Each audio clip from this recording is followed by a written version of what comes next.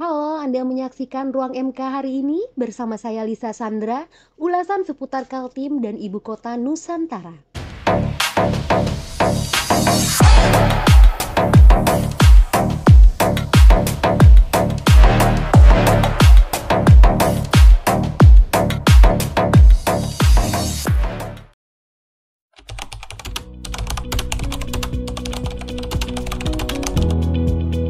PLT Bupati Kabupaten Panajam Pasir Utara, Makmur Marbun mengungkapkan, penegakan regulasi Zero Over Dimension, overloading atau odol masih sulit dilaksanakan.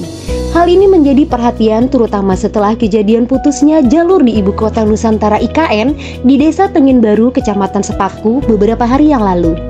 Makmur menjelaskan bahwa kendaraan angkutan dengan tonasi besar seharusnya memiliki jalur tersendiri tidak digabungkan seperti yang terjadi saat ini di mana jalan kabupaten, jalan provinsi, dan jalan nasional menjadi satu jalur.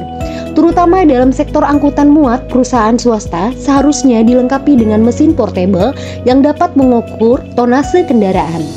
Dengan demikian, kendaraan yang memasuki suatu daerah dapat diukur beratnya. Truk angkutan yang melebihi standar ukuran akan diberi stiker sebagai tanda telah melampaui batas yang ditentukan. Ideali harus ada jalur khusus karena tidak ada jalur lain, jelasnya. Makmur yang menjelaskan bahwa kemampuan menahan beban jalan nasional, provinsi dan kabupaten berbeda-beda. Sebagai contoh, beban jalan nasional bisa mencapai 25 ton, tetapi untuk jalan kabupaten hanya 5 ton. Oleh karena itu, tidak mengherankan jika masalah kerusakan jalan tidak dapat diselesaikan.